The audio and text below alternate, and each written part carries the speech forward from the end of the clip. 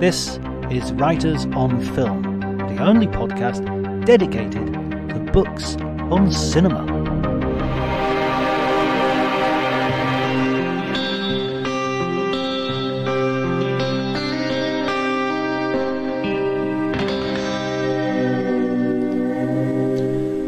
Everybody, and welcome to Writers on Film. My name is John Bleasdale. I am a writer and film critic, and today I am talking to Kyle Turner, who is the author of The Queer Film Guide 100 Films That Tell LGBTIA Plus Stories. Uh, it's a wonderful book published by Smith Street with great illustrations by Andy Warren. The book is great, and I'm really looking forward to talking to Kyle. He has had his work published in uh, a lot of different places, based in Brooklyn. He's uh, published in GQ, GQ, Paste Magazine, The Village Voice, New York Times, NPR, Slate, a lot of different places. Uh, and so I'm really glad to have the opportunity to welcome him onto the show thank you to Elliot Atkins for the music, and thanks to um, Ali Harwood for the art. And remember, if you like, you can follow us on Twitter at Dr. John T D R J O N T Y. Uh, please remember to go over and check my new podcast, Cinema Italia, which is um, currently in its seventh or eighth episode. It's a really good, accessible dive into Italian cinema, and I'm including all Italian films from silence to spaghetti westerns, giallo, polizieschi, um, Sorrentino, Fellini, everything. So uh, neo-realism, everything. So, so if you haven't had a listen, uh, be sure and, and give it a go and see see what you think. It's it's hopefully going to introduce some great new films to you, uh, um, and also go over some great classics as well. Okay, that's enough. Before you do any of that, enjoy the conversation.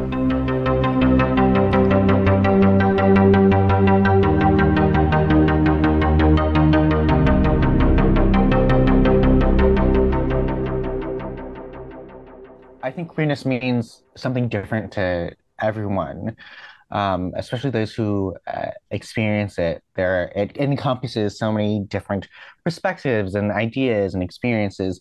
Um, and I wanted, um, and I was hoping that the films that I selected for the book could be representative of that fluidity, could be rep- representative of that malleability, because you have, of course, films with explicit and over LGBTQ um, IA plus representation, but you also have things that are a little bit more um, allegorical or metaphorical, like The Fly, the David Cronenberg film, where which is timed very uncannily to the AIDS crisis in 1985. Um, you have something like uh, Jennifer's Body, which is very much an interrogating um, female friendship in a sort of homoerotic way. Uh, you have Beau Travail, the Claire Denis film, which is clearly about like um, masculine envy. So I um, thought it was important to sort of like survey the way in which um, queerness could exist as these different things within film itself, not only as the desire that exists uh, that um, sort of is transferred between two characters, but also as a sensibility or a pers- perspective or um, an aesthetic point of view. Um, even something like um, everyone has an understanding that John Waters' Pink Flamingos is queer, but I think sometimes people struggle to articulate why why that is, and I think that is very much has to do with is so um, confrontational and abrasive about its uh, connection to normative ideas of taste and um, aesthetic. So I, I, wanted to make sure that there was a pretty wide understanding or a varied understanding of what queerness could be in this book. Yeah, it's that's so, interesting. I, when I was looking through, Fly was one of those where I went, "Oh, wait a minute, how does that work?" And then as you as you as I went through, of course, I remember the Fly coming out at the time and being seen very immediately as a as a uh, metaphor for AIDS. Yeah, and I think David Cronenberg's films. Um, I think what some audiences may not necessarily be aware of is that his, though he is like a straight identified filmmaker, um, his films have been embraced by the queer community because of their ability to investigate these um, really, I think, profound and tactile ideas of what it means to be human. The the um, way that our flesh and our bodies can sometimes be um, under scrutiny or surveillance by these larger systems and larger societies Videodrome, of course, um, The Fly, um, even something like um, uh, Eastern Promises or eXistenZ. They're very much about the way in which uh, bodies are sort of interpolated by these broader systems um, and determine what they mean and what their value is um, against other bodies. Yeah, yeah, it's, uh, that's that's so fascinating. Of course, he made Naked Lunch as well. I remember when he was being interviewed for mm-hmm. that, him him sort of confronting that problem of being a, as you say, a straight identifying filmmaker um, and dealing with you know an iconic key queer text in in William S. Burroughs' novel. Um, what about your in terms of yourself uh, coming to film? What, what's your sort of backstory in terms of uh, how do you get to to to be writing the, this book, and how what's your what are the films that are sort of first having an impact on your life? Um, the apocryphal origin story, as I like to tell it, is um, when I was four or five, my mother showed me Howard Hawks' Bringing Up Baby from 1938 with Cary Grant and Katharine Hepburn. Bless your mother. Yeah, yeah. Um, I was not allowed to watch Disney Renaissance movies. So the like Little Mermaid and um, Aladdin and um, Lion King and all that because uh, I was homeschooled very briefly uh, before I entered um, elementary school, which is like first grade, second grade, etc. Um, and throughout like the homeschool group that I was a part of at the time, apparently there was um, the rumor or the um, conversation uh, being circulated that there was subliminal imagery in those movies that the animators had put like different sexual innuendos and whatnot. Um, and that is a rumor that persists on the internet today. Um, but because i wasn't allowed to watch those my mother showed me um, screwball comedies from the studio era like his girl friday and bringing up baby. And bringing up baby where there is um, an anal sex joke in the first five minutes. So it's an interesting sort of uh, redirection of my attention.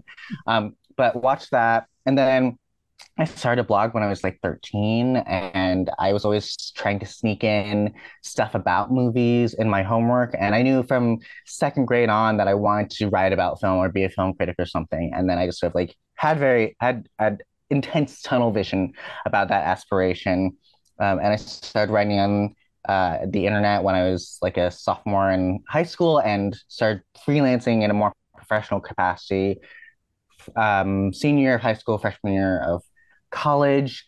And I've been freelancing for the last eight or nine years, and my work has been in like GQ and the Village Voice. And as far as this book goes, long, long-winded way of saying, um, I was approached by the Australian publisher Smith Street, Smith Street Books uh, for this opportunity, which I'm incredibly grateful for. They wanted to do. They had previously published a book called The Feminist Film Guide by, mm. by Mallory Andrews, and she's a really wonderful critic who I knew through Twitter, and she had uh, been uh, the editor of Cleo Journal, which was a feminist film journal based in Canada. And they asked her like um, if uh, if they had any ideas for the who they could get to write the queer film guide, and she gave them my name, and they approached me last May, and I was extremely excited, and I was like, yes, absolutely, I'd be happy to do that.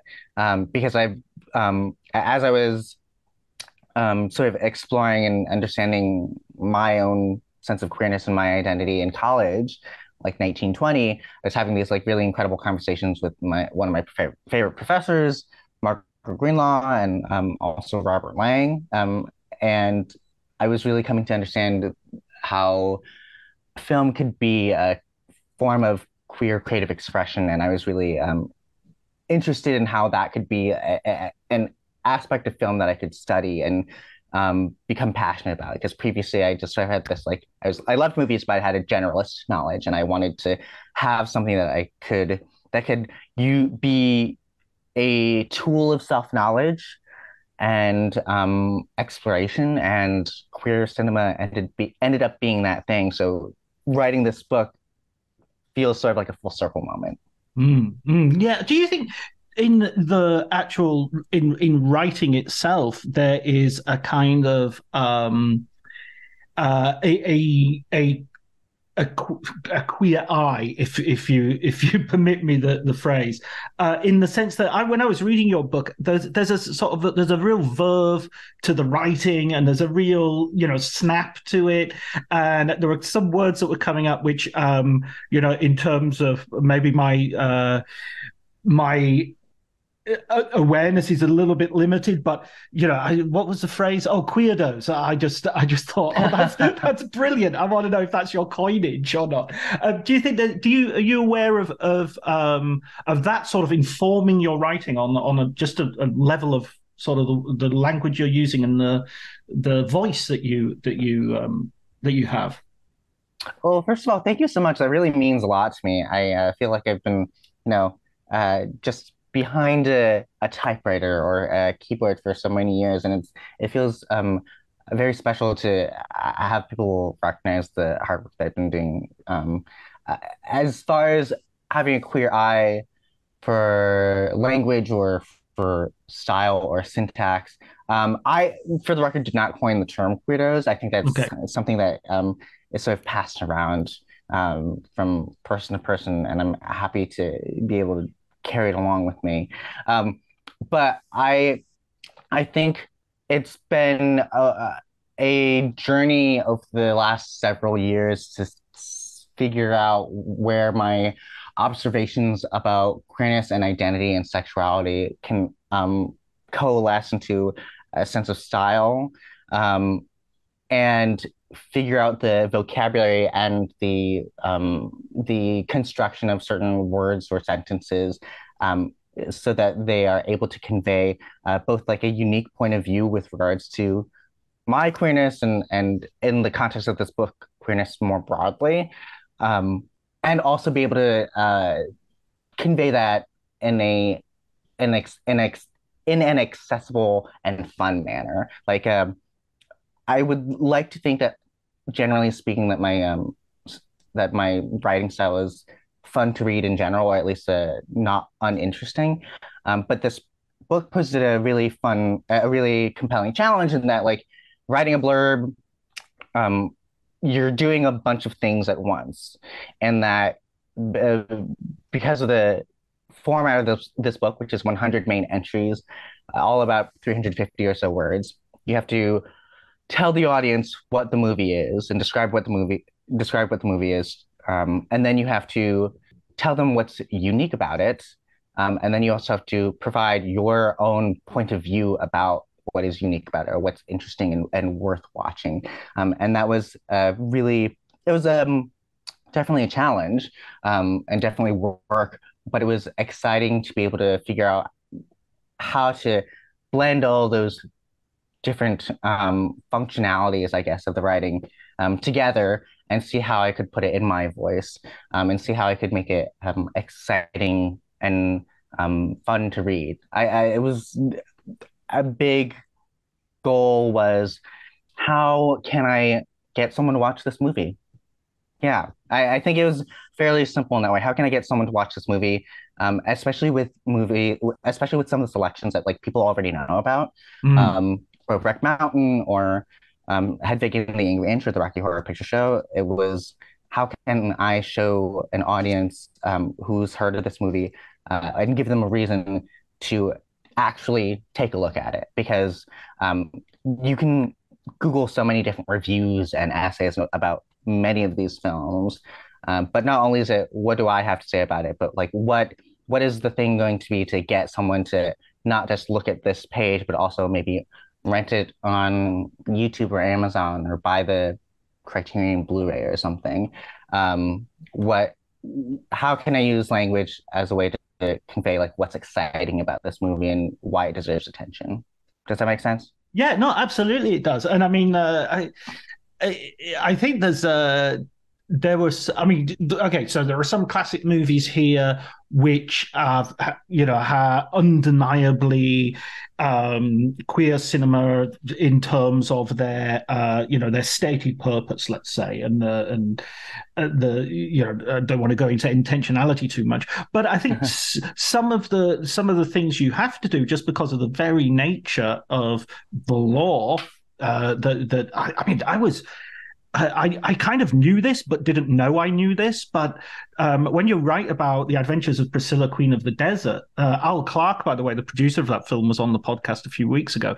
He Oh, cool. Yeah, yeah, he's a wonderful guy, wonderful producer. He actually was going around uh, when they were sort of location shooting for that. Uh, he went around with the writer and director, and uh, they had the um, some dresses in the back of the van, and they would jump out at Ayers Rock and put on the drag and take photographs of each other to use that to sort of sell the idea uh-huh. of the film to other people. So it was a great, uh-huh. great, great, little anecdote. But you know, you mentioned in that that you know the law in ta- uh, Tasmania isn't you know. It, homosexuality is still illegal in 1997 i mean 1997 mm-hmm. so so when you're looking at a lot of these films the idea of what you said earlier about uh, it, sort of the queerness has to some degree be sort of coded and has to you have to look in and sort of pull it out it's not it, it, it's part of its dna that it is coming out via codes and via sort of hidden um hidden away just to, to survive mm-hmm. um and uh I, I think as not to um, make broad generalizations, but for a long time as queer people, we had very little else but to use that language of reading into things, reading queerness into things, and looking for these signs and signals. Um, and um, it wasn't just out of a level of wish fulfillment or paranoia um, that these people existed, but the fact that like many queer people did exist in the film industry in Hollywood, and they were putting these things in movies as a way to signal to the to other people in the audience, you know, that they're um that you know they're one of us, so to speak. Um, and um, it, not it, and sometimes it wasn't even intentionally to signal to audiences that someone queer was behind the camera or or in um some sort of creative role, but also it was just an expression um, of themselves. It was also sometimes just a, a way to um, challenge or move forward um, the story or the aesthetic. Like um, for long, uh, um, my um, one of my best friends, professors um, at Manhattanville, uh, spent a lot of his research um, examining the Hays production era and the Hays production code and the things that were intentionally taken out of movies. Um, because when you were submitting your film um, for uh, not uh, it, it, this was prior to the Motion Picture Association of America, where you would get a rating. Um, you would submit it to the studios, and um, they would tell you to take things out and whatnot. Um, anything that sort of transgressed those normative values, no interracial relationships, no premarital sex, yada yada yada. Obviously, no queer people, and so you can. Um, there's a lot of there's a there there are paper trails as to what was not allowed in movies, mm. and anything that was too uncouth or, or too queer or too um, suggestive. So you can look at these different reports and glean from them like what certain things were what things were in movies that would indicate like some sort of other within society um, and i think that's really really fascinating that it, um, the that both the ability to read into movies but also at, at, at see where something was taken out. Um, I think that's such an interesting part of, especially like Western and American film history, and, and um, it requires, I think, for viewers to be active um, in their participation as opposed to just passively watching something. I think what could be exciting about this book and exciting about watching the movies in this book is that even if it's not obvious, you're um, encouraged to engage with the movie and have a dialogue with the film. Um, and I think sometimes this is me on my old like crotchety soapbox.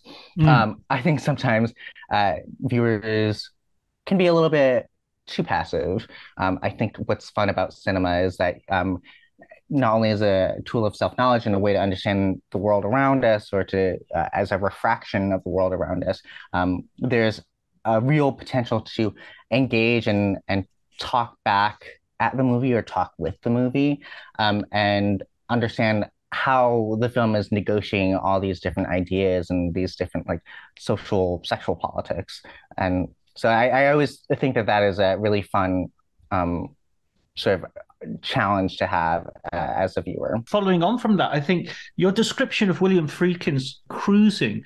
I, I was really, uh, really interesting because I love that film, and I know it's a bit a controversial film, and yet you you sort of nailed I mean, you, I don't mean you nailed it because you agreed with me. It was when I read it, I went, I kind of went, ah, that's that's it. That's exactly it. The idea that the camera kind of follows the the uh, Al Pacino's main character in the way it looks at things. It looks at things homophobically to begin with, cliches mm-hmm. and stereotypes, and then sort of a slightly morbid fascination of like, oh, what the hell's going on here? And then by the end of it, it's kind of like really comfortable with the world that it's in, you know. Mm-hmm. Mm-hmm. Um, I, mm-hmm. I just mm-hmm. thought that was a really interesting point of view, and and also in terms of what you said, it's that idea of an interaction with a film rather than just like give me i'm going to sit here passively and you tell me what i want to hear it's like i'm going to be disturbed stir, disturbed and upset by some of this and and you, i have to come on a journey you know yeah yeah you're going to be probed by it prodded uh, cruising has become a when when people have been asking me like what my favorite queer film is sort of throughout this process, I've been going back to cruising because it's it is so fertile for exploration and consideration and it's inspires so many fun conversations. I just did a screening of it um, at the Roxy Cinema in New York, uh, a double feature of cruising and uh, the Yann Gonzalez 2018 um, French slasher movie Knife Plus Heart and mm. how the mm. film it was really fun to put those films in dialogue with one another but cruising is just like it's i think we at least i have the benefit of time um, and uh, retrospective and whatnot to be able to think and um, engage with this movie sort of outside of its original context a little bit while understanding the context of its original release in 1980 bad timing. Like great movie, bad timing. Like the New York Anti-Violence Project um, was created in the late 1970s to address very, very real anti-queer violence. Um, and like William Friedkin was like, "Yeah, I'm gonna make this movie about like murders happening, uh, murders happening to the gay community." Um, not not great timing, but like I find his willingness to get into the muck of what I think a lot of mainstream queer people were kind of unwilling to acknowledge about, you know, the reality of some of our lives. Like we, it, it shouldn't really matter, but like the sex that some people enjoy is a little bit more um, unusual or it deviates from traditional ideas of like what sex looks like and that deserves as much respect and um, and is as valid as any other kind of sex and but to use this as like a as a social setting and as a political setting, I think is really fascinating because it requires a level of adventurousness or um, boldness to make the connection between the kind of aesthetic that is being fetishized within a queer community, uh, which draws a lot from the iconography of uh, the police state and fascism and Nazism and whatnot, and to connect that between like the rate at which the queer people were or were not being accepted in society, and sort of the um, the politics of New York of the era, because it's very much pre pre Rudy Giuliani, very Ed Koch era, trash everywhere. It stinks. It's like you can feel the grime of it. So it's really I, think it's like really fun to think about how William Friedkin, Friedkin is using this like sexual subculture as a way to describe or to um, um, illustrate like what American politics looked like at the time, um, even if it means sort of like using a very messy, messy metaphor as a way to get there.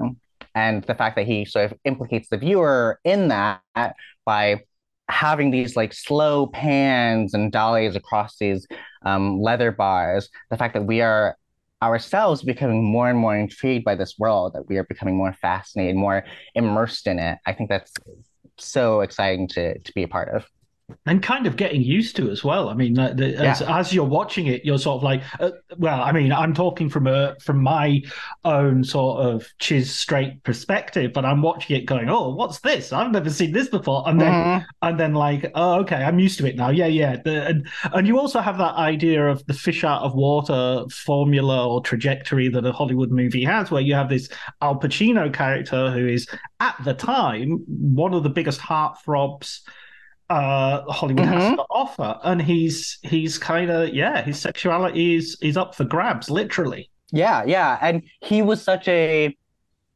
and I think continues to be such an icon of a certain kind of 70s masculinity. Um, he is very much of the like Robert De Niro, taxi driver. Yeah, Robert De Niro, Willem Dafoe, um, that whole whole era of like Paul Schrader, Martin Scorsese, like kind of masculinity where they're sort of adrift, they're sort of recovering from the national trauma of like the Vietnam War and Nixon and whatnot. Um, and having him, who we usually associate with having a very s- strong sense of self, like we when we see Al Pacino on screen, very rarely will we think, we, that guy doesn't know who he is. That guy um, is having some sort of like existential crisis. But to reframe how we understand Al Pacino's iconography, I think is really, really um, exciting and disturbing and scary in a, a productive way. I mm. like to, I, I usually describe cruising to friends who have not seen it as like cruising is homophobic, but in the best way possible. in a productive way. A way. Yeah, yeah so let's go let's go back a little bit because also the other thing that is interesting is you start off with a a couple of um, silent films and and semi silent films i yes you start with different from others mm-hmm. uh, is the first film you mentioned i mentioned wings i did not include wings i mean that is the tragedy of having limited space in like a set 100 there are a bunch of movies that were sort of like up in the air, especially um, if I want to if I want to articulate the idea that um, queerness has been on film for almost as long as film itself has existed, um, but also um, get to presentations that were a little bit more direct and a little bit easier, I think, for audiences to sort of wrestle with. Um, there was like there there were a bunch of films that I that I had to pick from um, mm. in order to explore that idea while also being able to sort of like um, it, since the film it, since the book is is framed chronologically so uh, pick those movies and then also move forward in time to show an evolution of what queerness looked like on the screen and how queerness was um, being discussed mm. culturally and, and socially um, and so different from the others is the first one um, and I think it's useful that that is the first one, the first official entry in the in the book. Um, partially from like a historical perspective, um, 1919 it was very much a product of these uh, basically educational films that Dr. Magnus Hirschfeld was making with filmmakers at the time um, in Weimar era Berlin. Um, and to sort of contrast that brief queer or social utopia that existed at the time um, even as it it was even if that film was being um, used with a particular with a, a, fairly particular purpose, in, which is which was to educate um, and to inform other people in Germany because there was still a penal code that outlawed homosexuality at the time, and contrast that against um, later films where even as they're being released in the night uh, the 2020s um, that there is this kind of juxtaposition against a cultural landscape in which queerness is much more broadly accepted but also that we are living in a time in the united states at least although the like the conservative right-wing backlash is kind of global um, but that that there was a, a, kind of a similarity or at least a mirroring of what was going on despite the fact that we have like a, a I think the the cultural fluency around queerness is significantly different than in 1990 1919 sorry 1919 yeah, yeah no absolutely i mean i wanted to i did want to uh, bring this up and um i promise we'll we'll sort of get to sort of lighter issues as well because i don't want this to be i don't want this to be just uh, like wow how terrible things can be. But um i've noticed recently that i think homophobia and transphobia uh, is like being exploited as almost like the tip of the spear of a far right culture of sort of hatred. And I mean, in the space of the last month, we've gone from um, very basic transphobia to um, to uh, drag shows being picketed, books being banned, and and all of a sudden pride which has kind of not even been controversial for like the last 10 20 years has suddenly become a, a target for for this this sort of concerted hatred.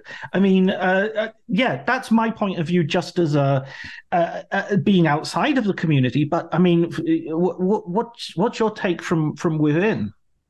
Well, personally, I think gays don't deserve rights. Um, no, that's uh, it's, uh, it's, it's a surprise, but, let, us yeah. from the author of the Queer Film Guide, queers don't deserve rights. Um, it's really rough. Um, right. And and it's hard not to find it kind of depressing. Um, and I don't. I I do not lay blame for the queer community about this. Like mm. I hmm. think that um, I think conservatives would have found a way with the different tools at their disposal, uh, especially the fact that like so many um, Silicon Valley people um, do swing conservative and do have a lot of power and do have a lot of influence over politicians. Um, at least in the United States, I, I um, can't necessarily speak to uh, things more internationally, but I think the existence of these different platforms and apparatuses certainly has not ha, has been um, almost instrumental in being able to spread and give power to those outside of the United States as well, um, in terms of voicing these bigoted um, and and um, harmful and oppressive beliefs, which then sort of like get recycled and and and weaponized by those who are actually in power and have and have the um, means to make other people's lives miserable. Um, long circuitous way of saying I I am I, I think it reveals the ultimately problematic way that a lot of queer politics has sort of um, aimed its primary goals at as, at assimilating into society, and that is mm. purely my perspective. I understand that there are definitely useful ways to uh, and and understandable reasons as to why um, marginalized communities would want that. Um, marginalized communities, regardless of the, whether they are queer or uh, racial or ethnic or religious or able-bodied backgrounds, et cetera, et cetera, deserve equity and justice regardless. Um, and I think what we are seeing is um, the failure that, like, if the queer community was going to primarily focus its efforts on marriage, it meant that like other people were who don't want that or didn't have access to it or didn't have the resources to access it, yada yada yada, would not necessarily fall under the purview of those who are protected, those who uh, people who don't want like the middle class um, lifestyle, picket fence, children, etc. Uh, wouldn't have necessarily wouldn't necessarily have access to those rights or or those protections, um, and that so much energy was spent on trying to get those those things. Um, I think it's become much easier to have those things sort of like thrown back in our faces because as useful as marriage is as a financial decision and as a tax reason in the United States, um, it is not a band-aid for everything. Like it doesn't solve a lot of like the policy issues regarding homelessness or employment. Um, and it's really scary and upsetting and uh, frustrating to see things that were three or four years ago under like liberalish or neoliberal political uh, circumstances that these things are now like um, subject to just to like intense hatred and discrimination. It's really I, I apologize for not being able to sound articulate about this. No, just, no, it's ridiculous. It's like it is like in in a less refined way. It's like ridiculous. Like uh, I saw a TikTok of like the school librarian who was being asked to like throw out all of these books because they were like too woke and i'm like these were very very basic history books and um i'm curious like the the sense of fascism is is it feels um like so um visceral and and um even though I I'm based in New York and I think I, I and I'm in a position of like extreme privilege, um, leading middle class life, uh, little middle-ish class lifestyle in Brooklyn, um, with my like lefty friends. It's still there is enough proximity to these things that are happening. It's it is unbelievable, and I it feels unfortunate and upsetting to like not know what to do. And um, what is also like deeply upsetting is the fact that like many of the people who are doing this, uh, they're not the majority. Like mm. so many like different um official and unofficial polls, like the Pew Research Center, uh, um, and different like political polls that have been done by different outlets and publications are like, we don't care. We don't care about people. Like in in like an indifferent way that like isn't great, but at least has this like tone of like of we will leave them alone. Like it doesn't matter to us one way or the other. And it's really just like us, a relatively small group of people that are extremely loud and have um, uh, have incredible access to resources and uh, policy and to law and whatnot that are making these decisions which are harming so many so many people and um, it's a terrible sense of whiplash especially yeah. when we thought that um, that there was a, a bit of progress as far as being able to live in a world where created where um, self-expression was not so under under such scrutiny that would cause such harm. Sorry, that was a very long ramble. No, it's not. It's uh, it's really interesting. I really wanted to get your uh, to get your perspective on it, and I, I totally agree with you. I think there's been this. I think there is a temptation because it because this is a very minority. It's a very hateful minority. They know that they can't just say, "Hey guys, gay people are bad. Let's go back a bit because nobody would support them and everybody would laugh them out of town. So what they do is mm-hmm. they target certain very particular groups. They're not targeting yeah. sort of uh, um, a, a, gay couple who are married. They're targeting some sort of fetishists here or some sort yeah. of, and they're, they're going, ah, yeah, but look at this is, look at what they're doing in front of children. And they keep bringing up children in a very toxic way as well. And, mm-hmm. and it, and the, the temptation is to throw those people under the bus, is to say, yeah, that's a bit too much. We shouldn't have that in our pride parade. And it's just like, no, fuck these guys. They don't, they were that don't surrender anybody. Not only for uh, the homosexuals, for the LGBTQ plus uh, community, but also for uh, heterosexuals who might want to have non-normative sex in ways that isn't isn't sort of widely understood or cared about. So I just, yeah, it just, uh, uh, your anger is utterly justified, and uh, and I'm, I, I'm I'm glad to hear it. Happy Pride Month, Happy Monday. Yeah, exactly, exactly. But okay, let me let me get to a uh, to some of the more. Um, let's have some more fun. one film that I loved that uh, uh, you included in the book, and I, I don't I imagine it was a no-brainer. Funeral Parade of Roses. This is a, a ah, stunning. So yeah, can you t- tell us a little bit about that for any of the listeners who might not have had an opportunity to see this yet? Yeah, so Funeral Parade of Roses is a film from 1969, directed by Toshio Matsumoto. Uh, um, Matsumoto was uh, his career was um, starting around the Japanese New Wave, which had a lot of inspiration from the French New Wave, obviously, um, so like Seijun Suzuki and um, Nagisa Oshima. Um, but he was uh, Matsumoto was really interested in like the way that film could um, create these worlds of fiction and reality, and he wanted to explore this underground world of um, queer and basically trans sex workers um, called gay boys, and he wanted to use that social setting um, to make a film that was part narrative reimagining of um, Oedipus Rex by Sophocles, part documentary about the social and cultural landscape of this underground Tokyo queer scene, and then part experimental film to explore like the way that this world exists kind of within but also apart from like mainstream Japanese society. And so what you have is like is this like incredibly kaleidoscopic and wild and crazy and fun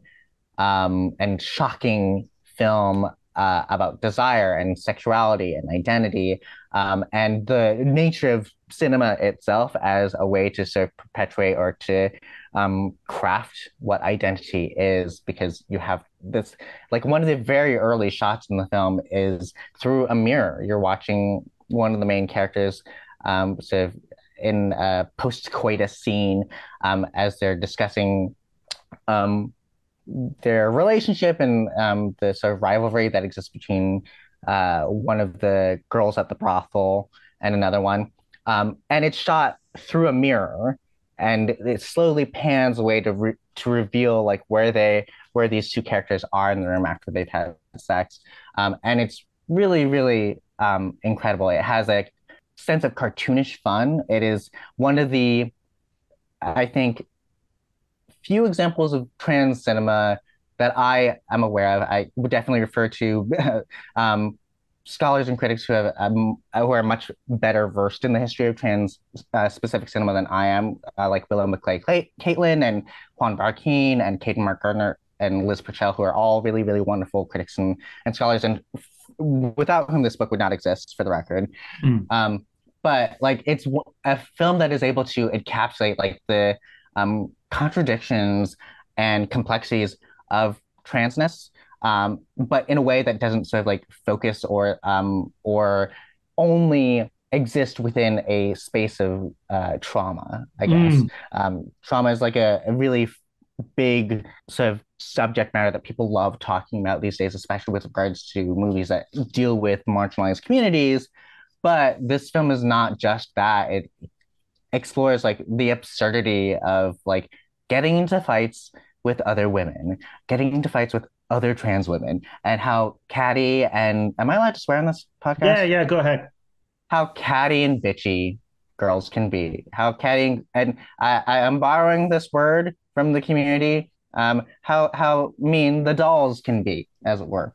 Yeah. Um, it's uh, it's falls into this like perfect it falls into this perfect category of, of movies in this book that are like really rigorous and invigorating and challenging, but also like really fun to watch. This yeah. is a movie that I really like showing to people because um, even though it's sort of outre and avant-garde um, and is combining all these different um, cinematic techniques and expressions, that it's just like really entertaining. It's mm. a it's a good watch. I, I showed it um, at the LGBT Center in New York recently, uh, and I was like really surprised and delighted to uh, find that the that it was an almost full house, which was really cool. But like everyone had a good time. It's uh, I, there's this misconception that a lot of queer films, especially, are nothing but depressing, nothing but like AIDS stories and death stories and whatnot. But I think that is um, a misrepresentation of the breadth of queer cinema.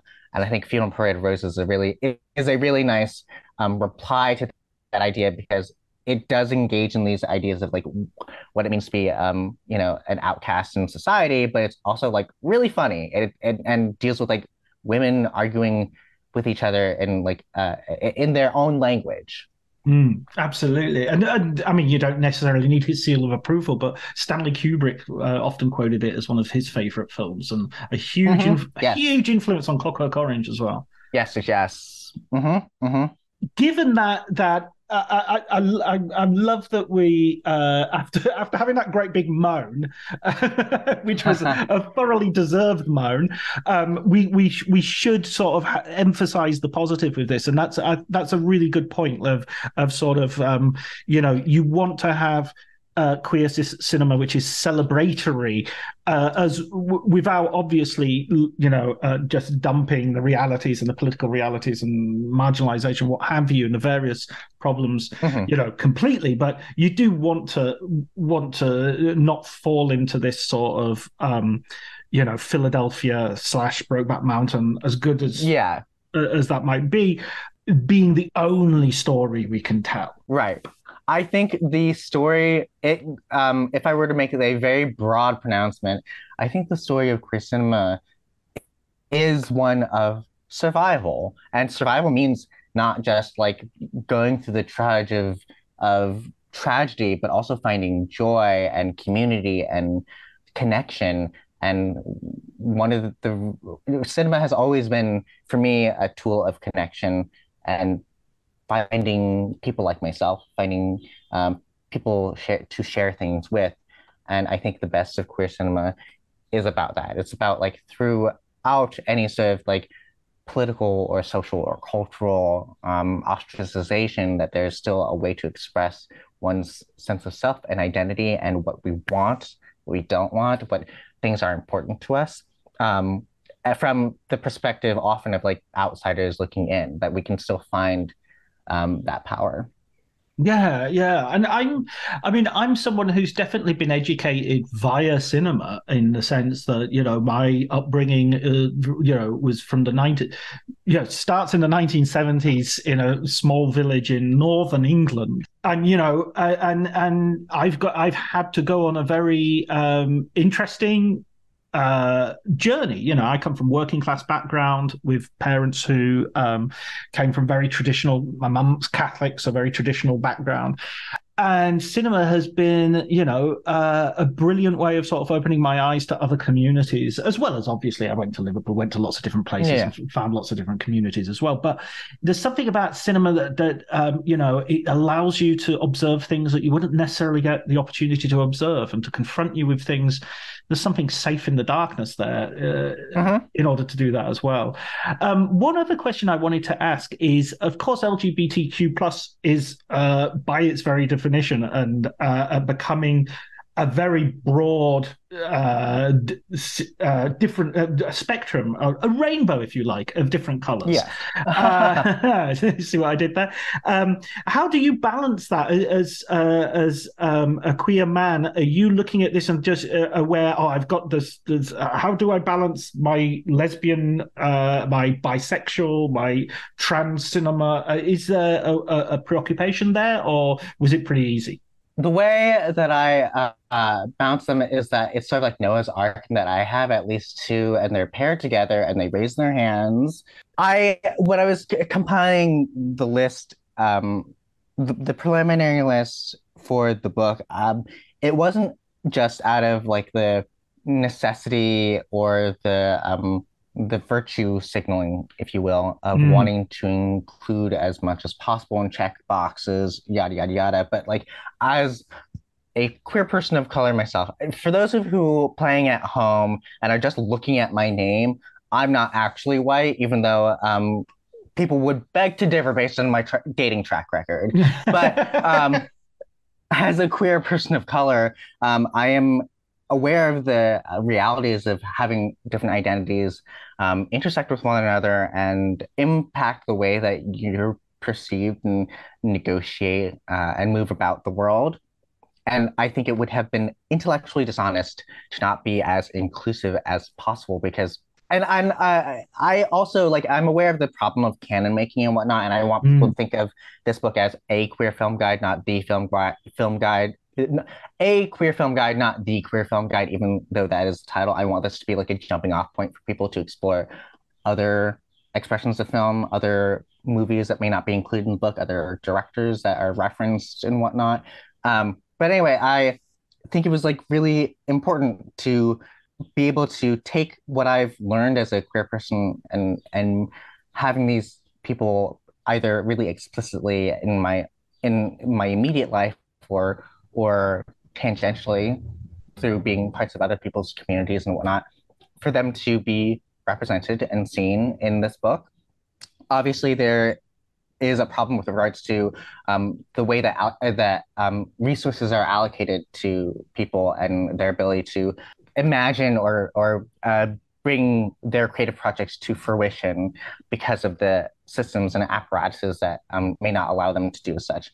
But like because queerness encompasses and um, contains so many different um, ideas and experiences and lives, uh, I thought it was Im- I, I thought it was intellectually um, important and necessary that I try to honor that, um, and not just again not just out of the uh, politically convenient way, but because uh, even if I don't know everyone in every community, it's it, it's important to me that like w- there's a a sense of like this sounds silly, but like cinematic solidarity. Like Mm. even if I don't know like every uh, obviously I'm not going to know like every trans person or every intersex person or um whatever, but like being able to engage with their stories and um or our stories is has been like an important part of my own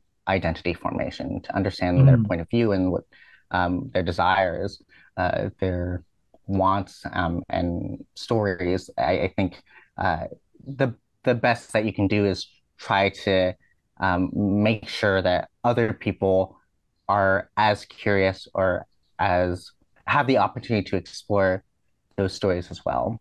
Um, and even though it's you know, within the constraints of the format, it was like kind of difficult just being able, just in terms of like, you know, wanting to include as much as possible so that it's a, a fair and um, unique representation of queer cinema. I think uh, if I had not done that, uh, it would be like a significantly worse book. Yeah. Like, um, di- uh, it, it, like a diversity and variation of what queerness looks like and means to other people is like I think should be a testament to what queerness should look like in general. Absolutely, absolutely. I mean, I hesitated really to ask that question in a way because reading through the book and looking through the different um, the different films that you'd selected, it struck me that there's such a rich, you know, and, and also given what you quite rightly said, not everybody has the equal access to the to the means of production or uh, or financing. Um, it's absolutely gobsmacking that there are so many great lesbian filmmakers and and trans uh, films out there um, uh, that, to choose from. So there's not a sense that you know, um, oh, I I wish there was. Yeah, Desert Hearts. I remember watching Desert Hearts back in the '90s, and and what what a wonderful film that was. And Watermelon Woman, uh, which I only watched quite recently, and, and again has that. Um, uh, push against that idea of trauma, even as it's looking at trauma. You know, it, it, it, it's it's totally aware of history, but as you say, in a very playful way. It has fun. Like, uh, I, again, I mentioned that there's this misconception that a lot of queer films are like really depressing and only about death and whatnot. But uh, The Watermelon Woman is fundamentally about the absence of black bodies, especially in queer movies, not just in Hollywood history in general, but like there is a problem with um, a a lack of um, representation of people of color within um, American queer cinema, particularly.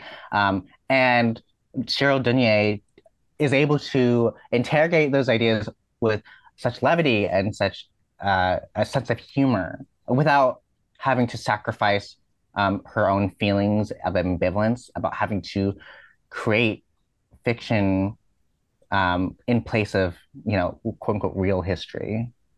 Mm, absolutely, and I mean one thing I'd also uh, want to uh, make sure that we don't forget. I'd like to uh, get your comments on this as well. Is uh, the book is beautifully illustrated by Andy Warren, and it's mm-hmm. it's a real it's a real bonus to the to to the book that you get these uh, the these illustrations. Um, I, I think it, it look it it, it, yeah, as I say, it's a real bonus. Did you um uh were you sort of talking with um uh with your illustrator as part of that, or, or was he delivering those and you seeing them for the first time?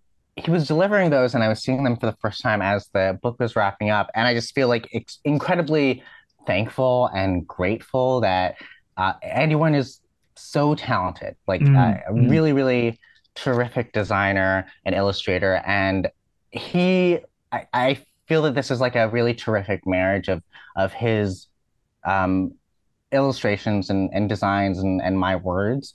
Um, and it, it really makes the book. It's gorgeous to look at like um if this is going to be like something that we're encouraging people to like have in their home and have uh as like a an object i think it's so exciting and I feel in- incredible gratitude that he's able to make something so gorgeous with Smith Street Books. And um, I feel very thankful to be a, a part of that.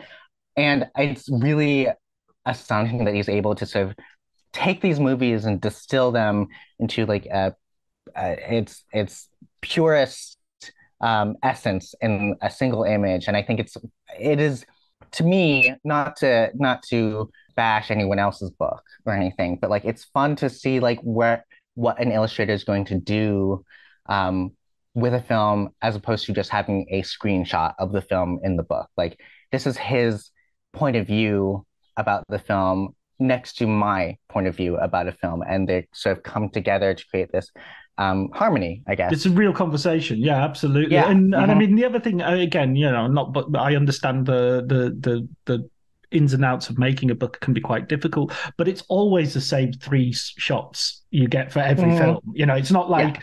there are a lot. There's a huge amount of you know film stills that you can use yeah, for it. Press you know. stills and stuff.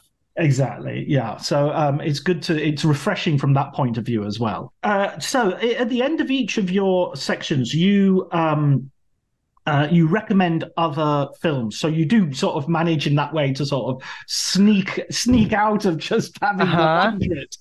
Um, so uh, which which if you were if you were allowed like hundred and one films, which would be the one that you would that you would have uh, sort of the so uh, you are correct in that technically there are 200 movies in the book.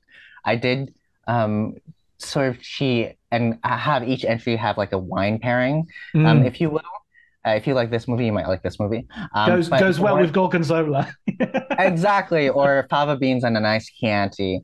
Um, the if I were to pick another movie um, that would be like 101, it would be a toss up between. I know that like he is overrepresented in the book.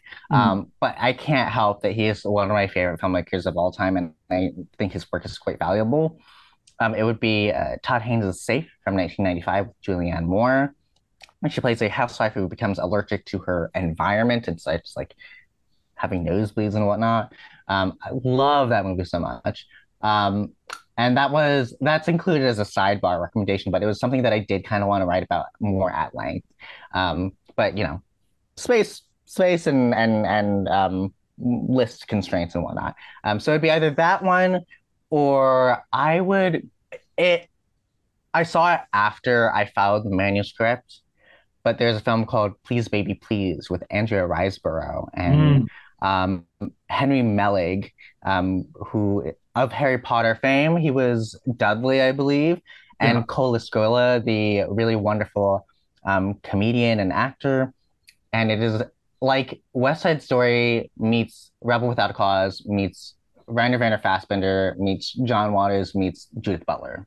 Uh, where are they meeting? on, on, the set, on the set of Querelle. yes, exactly, exactly. it is. It is very much that kind of like lurid color, um, very stripped down aesthetics. It, they're talking so explicitly about the nature of desire and gender um, and Andrea Riseborough like goes to the walls. It's a really, really an incredible performance. Um, but that one's a lot of fun. Um, and that that would also be like a, a fun pick for for number 101. Yeah, yeah. I mean, I think that's also something that's great in the book is as you go through it, as you get towards the end, there is a real sense that wow, we're really opening up possibilities here. There's so much more we can talk about, and we can kind of sort of you know, th- there's a lot more room for for. Although I hesitate to say this after we've talked about funeral parade of roses, but you know, there is more fun. There is there is an element uh, that we can get on. Absolutely.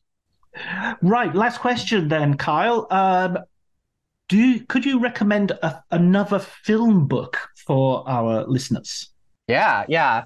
Um, one of my favorite books is called um, this Young Monster by Charlie Fox, which is a collection of essays. Um, he's, I think, London based or UK based writer. Um, he's written for the New York Times, Dazed, Paper Magazine. He has a really, really beautiful point of view about the monstrous. And so this is a collection of essays about um, monstrosity and outsider identity um, and he has this like very long essay about Rainer Werner Fassbinder, which was featured in the Paris Review. He has some um, essays about like his experience as um, a, a, disabled queer person, um, and how that informs his critical point of view. He has this really, um, this is not included in the book, but uh, the, a really beautiful essay that was included in the New York Times Magazine about Frankenstein as as queer metaphor. And so he has such an, a rigorous and invigorating style and sense of language. Um, and he's he's just like one of the most exciting writers uh, I've ever read. And um, so this young monster by Charlie Fox is really really great. Fantastic, brilliant. Well, listen, Kyle, thanks so much for joining me, and, and congratulations on the book. It's a, a, really, as you said, lovely to look at because of the illustrations as well. But uh, it's a really great read, and I recommend it to anybody interested in cinema. Thank you so much for having me, John. This has been so much fun. I really appreciate it.